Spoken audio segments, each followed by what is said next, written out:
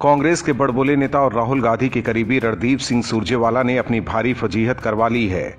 BJP को घेरने के चक्कर में सुरजेवाला ने ऐसा बयान दिया जिससे उनके समझ पर ही सवाल उठने लगे हैं।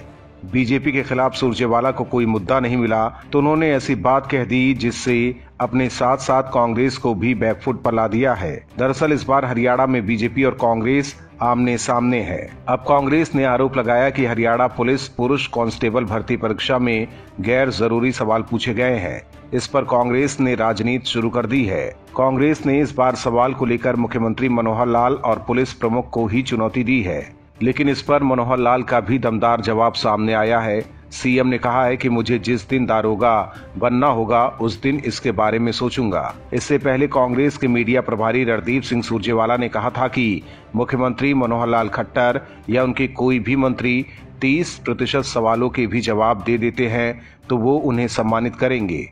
सुरजेवाला ने कहा कि उम्मीदवारों से अमेरिका, रूस, एफबीआई और इंटरपोल से जुड़े प्रश्न पूछे गए हैं, जिसकी ज़रूरत ही नहीं थी। उन्होंने कहा कि सवाल आईपीसी और ह्यूमन राइट्स जैसे विषयों के साथ ही हरियाणा से जुड़े होने चाहिए।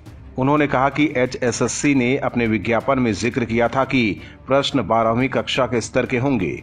लेकिन पुलिस कांस्टेबल परीक्षा में पूछे गए प्रश्न ऐसे हैं, जिनका जवाब ना तो मुख्यमंत्री और न ही पुलिस प्रमुख या अन्य वरिष्ठ पुलिस अधिकारी ही दे सकते हैं। सुरजेवाला ने आरोप लगाया कि ऐसे सवाल इसलिए पूछे गए हैं ताकि पिछले दरवाजे से उम्मीदवारों को प्रवेश मिल सके। उन्होंने मांग की है कि सरकार को चयन पैनल को खत्म कर फिर से परीक्षा आयोजित करनी चाहिए।